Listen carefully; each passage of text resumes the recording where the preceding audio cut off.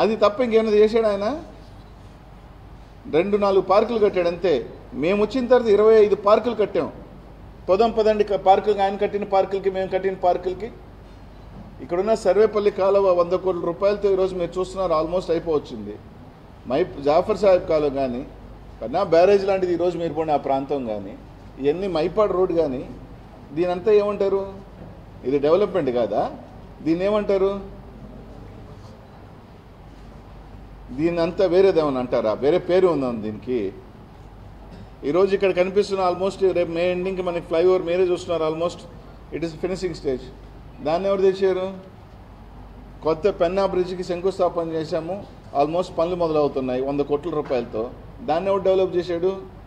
అక్కడి నుంచి హైవేకి ఎనభై కోట్లతో వచ్చే వారం శంకుస్థాపన చేస్తున్నాం ఎయిట్ లైన్ ఇనమడుగంతా కూడా. దాన్ని ఎవరు తెచ్చారు ఇవన్నీ గత ఐదు సంవత్సరాలలో జరిగినాయి అని అడుగుతున్నా. ఐదు సంవత్సరాలు ఏం జరిగిందో చెప్పమనండి వాళ్ళని. పన్నెండు పర్సెంట్తో లోన్ తెచ్చి ఆయన తవ్విన గుంతల మీద రోడ్లు వేసాడు. ఆ రోడ్లు కూడా సగం గుంతలు పడిపోయినాయి. నాలుగు సంవత్సరాలు కృంగిపోయినాయి. కాదా? వాస్తవం కాదా? మీరందరూ పత్రికా విలేకరులు ఉన్నారు. నిజాలు రాయండి అబ్బా. మీరందరూ తిరుగుతున్నారు కదా రోడ్లు కృంగిపోలేదా? లేదా ఆయన తవ్విన రోడ్లే కదా వేసాడు? ఇప్పుడు వా- ఆయన తెచ్చిన వెయ్యి కోట్ల రూపాయలకి మీ మీద భారం ఈయన మున్సిపల్ మినిస్టరు. ఆ రోజు వెంకయ్యనాయుడు గారు సెంట్రల్ మినిస్టర్గా మున్సిపల్ మినిస్టరు. ఏం అప్పు లేకుండా మనకి ఇవ్వచ్చు కదా? ఆ రోజు కూడా నేను మొత్తుకున్నా. వెయ్యి కోట్ల రూపాయలు మీరు అప్పు లేకుండా నెల్లూరుకి ఎందుకు ఇవ్వకుండా గ్రా అప్పు ఎందుకు ఇస్తున్నారు అని అన్ని ఆ అప్పు ఎవరు కట్టాలి? మున్సిపాలిటీ కట్టాలని చెప్పి సంతకాలు చేశారు. వంద కోట్లు కట్టగలుగుతాం మనం? వంద కోట్లు కట్టాలంటే ఎంతెంత పన్నులు ఇవ్వాలి అదే మీరు చేసిన డెవలప్మెంటు. ఎలక్షన్కి మూడు నెలల ముందు ఒక పాప వర్కులు చేసిన వాళ్ళందరినీ రోడ్ల పాలన చేసేసాడు. ఒక ఫైనాన్స్ హెడ్ లేకుండా. ఏ పనికైనా ఒక ఫైనాన్షియల్ హెడ్ ఉంటుంది. అంటే ఫైనాన్స్లో అప్రూవల్ ఉంటుంది.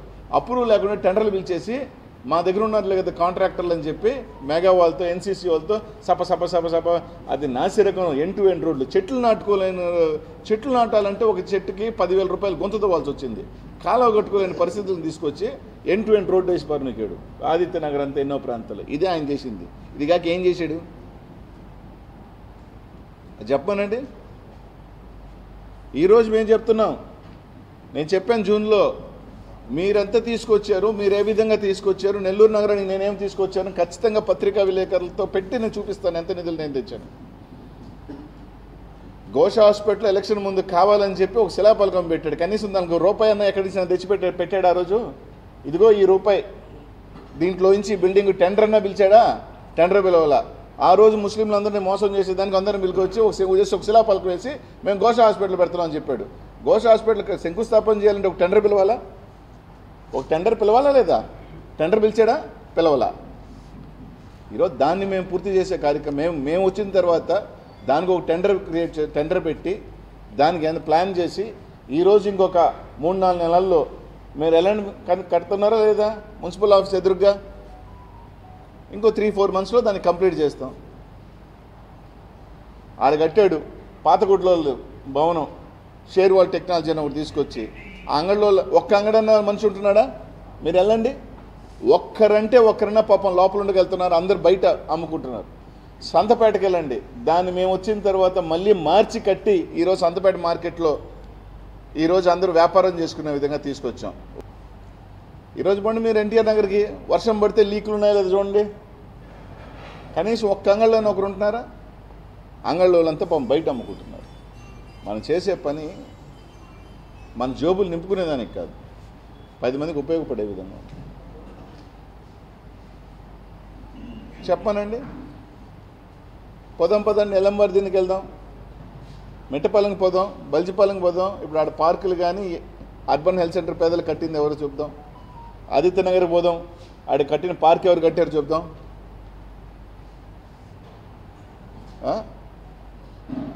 మేము కట్టాం ఏం అదేదో చెప్తే కదా మేమేం చేసామని నువ్వు చేసిందల్లా ఆ గొంతుల్లోటి ప్రజల మీద అప్పు భారం. ఇప్పుడు దాన్ని నేను కమిషన్ చేయమని చెప్తే ఒక్కొక్కరి మీద ఆ నోట్ల పదిహేను కోట్లు కట్టాలా? ఎవడు కట్టాలి ఆ డబ్బులు? ఏ మీ ఇద్దరు మున్సిపల్ శాఖ మంత్రి? కేంద్రంలో మున్సిపల్ శాఖ మంత్రి ఉన్నారు. మేము ఫ్రీగా తెచ్చికూడదా మనకప్పుడు అప్పు లేకుండా చేయకూడదా? వేరే ఊరికి గ్రాంట్తో తెచ్చారు కదా? నెల్లూరుకి ఎందుకు అప్పు? ఓ మీరు నెల్లూరు వాళ్ళనా ఆ? ఈరోజు భగత్ సింగ్ కాలనీలో వరదలు వచ్చినప్పుడు ఈరోజు దానికి వంద కోట్లతో పని పూర్తి స్టార్ట్ చేస్తున్నాం. ఇంకో వారంలో పని మొదలు పెడుతుంది. అది ఎవరు తెచ్చారు? మీరు తెచ్చారు? మేము తెచ్చామా? ఐదు సంవత్సరాలు మీరు బ్యారేజ్ ఉన్నారు. పూర్తి మీరు చేశారా? నేను వచ్చిన తర్వాత చేసామా మే ఈ గవర్నమెంట్ చేసిందే చేసిందా? కాబట్టి డెవలప్మెంట్ అంటే అసలు అర్థం తెలియకుండా అంటే మీ ప్రకారం డెవలప్మెంట్ చేయాలంటే జగన్మోహన్ రెడ్డి గారు చేయలేరు. మా లెక్క ప్రకారం పేదవాడు మధ్యతరగతి వాడు దగ్గర నుంచి అందరూ బాగుండాలి స్కూల్స్ బాగుంటేనే పిల్లలు. ఈరోజు పదం పద గవర్నమెంట్ స్కూల్స్లో పిల్లల సంఖ్య పెరిగిందా లేదా? పెరిగిందా లేదా? దాన్ని డెవలప్మెంట్ అంటారు. డెవలప్మెంట్ ఇండెక్స్ అంటే పది అంతస్తుల బిల్డింగ్ కట్టి గ్రాఫిక్స్లో చూపించడం దాన్ని కాదు డెవలప్మెంట్ అంటూ. డెవలప్మెంట్ ఇండెక్స్ అంటే అన్నీ. స్కూల్ ఎడ్యుకేషన్ పెరగాలి స్కూల్ వ్యవస్థను పెంచాలి హాస్పిటల్ ఇది పెంచాలి. అన్నీ సమకూలంగా ఉండాలి కానీ అది వదిలేసి మేము డెవలప్మెంట్ చేసాం జగన్మోహన్ రెడ్డి సంక్షేమం ఈరోజు చెప్తున్నాం అబ్బా సంక్షేమం చేస్తున్నాం. మేము చేసిన డెవలప్మెంట్ జనాలకు ఉపయోగపడే డెవలప్మెంట్. నిద్రలు మేళ్ళు గ్రాఫిక్స్ జగన్మోహన్ రెడ్డి గారు చూపించలేకపోవచ్చు. మా దగ్గర ఒకటి ఉంది మేము చేసే పని మీకన్నా తక్కువ మీకున్న మీరు పది పైసలు చేస్తే వంద రూపాయలు చెప్పుకుంటారు. మేము వంద రూపాయలు చేసినా కూడా మేము చెప్పుకునేది తక్కువే. మీలాగా తక్కువ చెప్పి దాన్ని డప్పు వేసుకుని డప్పు వేసుకొని డప్పు వేసుకొని డప్పు వేసుకొని సాయంకాలం మీడియా వాళ్ళందరికీ ఫోన్ చేసి ఇది రాయండి ఇది చేయండి అని చెప్పి కొంచెం తక్కువ మాకు అలవాటు. ఎందుకంటే పని మాట్లాడాలనుకుంటాం. కొంచెం పని మాట్లాడాలని కోరుకుంటాం. అంతే.